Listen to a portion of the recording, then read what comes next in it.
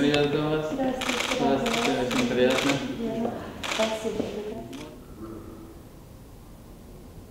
С приездом, во-первых. Спасибо, очень рада. Я из моей любимейшего города, Да. очень люблю. И я последний раз была в Тбилиси, делала многое. Ну, вот этот год был, конечно, очень непростой.